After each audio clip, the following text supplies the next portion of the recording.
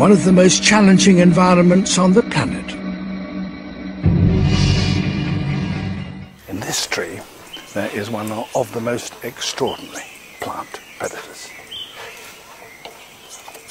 It's one animal that I don't need to sneak up on. Boo! This extraordinary creature is half blind, half deaf, and this is just about as fast as it can move. That's what's going to happen to you if you live on nothing but leaves.